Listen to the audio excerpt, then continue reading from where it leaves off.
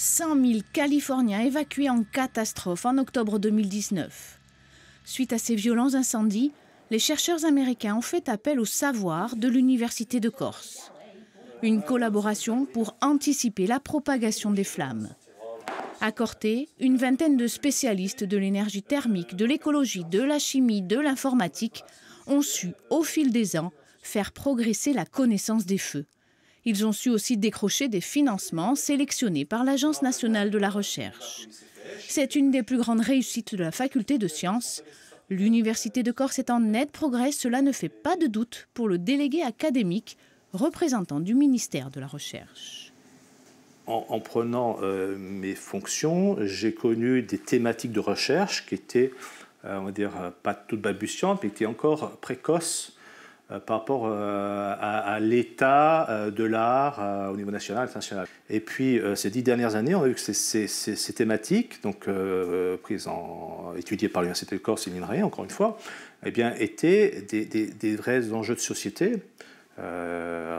autour du développement, autour de la gestion des eaux, autour de la gestion des incendies, autour de l'énergétique, autour de la gestion des stocks halieutiques. Donc c'est tous des sujets euh, qui, sont devenus très importants et qui permettent notamment à l'Université de Corse d'avoir un, rayonnement maintenant beaucoup plus important. On a quand même une petite université, une petite, collectivité, une petite région. Eh bien, je trouve qu'on a un bon rendement quelque part. La prochaine évaluation de la recherche débutera en 2022 le Haut Conseil HCRS recommandait en 2016 de favoriser davantage la recherche disciplinaire pour des publications de haut niveau. Les plus en pointe, les sciences pour l'environnement, en comptent 375 en 4 ans. Le partenariat avec de grands organismes de recherche est résolument bien établi. Je m'intéresse au réseau d'interaction entre les, insectes pollinisateurs et les plantes du maquis. Cet écologue du CNRS basé à Vignola est d'une grande renommée dans son domaine, la pollinisation notamment des arômes. Et donc pour prélever l'odeur, on a utilisé ce qu'on appelle une fibre SPME, ça va me permettre dans un deuxième temps de savoir quelle molécule euh, est importante dans l'attraction des insectes qui viennent polliniser cette espèce. Important, essentiel aussi pour la préservation de la biodiversité, un enjeu mondial. Chaque pic correspond à une molécule de, de l'odeur. Et plus le pic est important, plus la molécule est importante dans le, dans le mélange odorant. Pourquoi la Corse? Je retrouvais un petit peu de la diversité comme j'avais pu étudier sous les tropiques où là aussi il, peut y avoir beaucoup de diversité et des interactions et des réseaux d'interaction très complexes. La Corse, je pense, est aussi dans ce niveau-là de complexité et c'est ce qui est intéressant à étudier. On est où ce matin là, de cette, euh, cette chromato? Euh, Elle avance bien, on essaie d'isoler un constituant pour identifier la structure.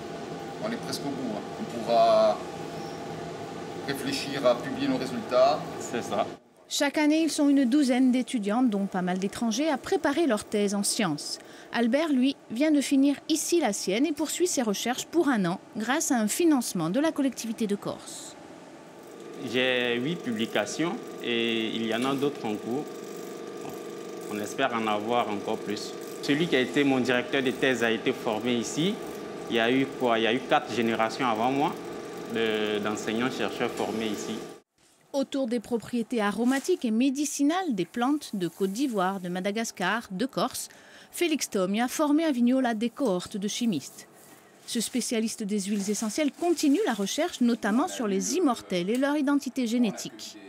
Pour cette perpétuelle course au financement, il a deux atouts liés à ses 30 ans d'expérience, la pluridisciplinarité et un réseau international. Est-ce qu'on va pouvoir trouver euh, quelque chose qui nous permette de dire l'immortel de Corse, la plante, mais aussi l'huile essentielle, elle a certaines spécificités, certaines caractéristiques qui n'appartiennent qu'à la région Corse. C'est aussi un questionnement qui intéresse la profession et on espère qu'avec euh, nos collègues slovènes, on pourra, dans quelques mois, euh, bâtir un projet de recherche euh, pour aller plus loin sur cette caractérisation. À Bigoulia, l'université est moins dans la recherche que dans le transfert d'innovation vers les professionnels de la mer. Elle s'est tempérée des ressources halieutiques pour repeupler les fonds marins en huîtres, oursins, dentiers et langoustes, une activité scientifique variée et qui crée de la richesse.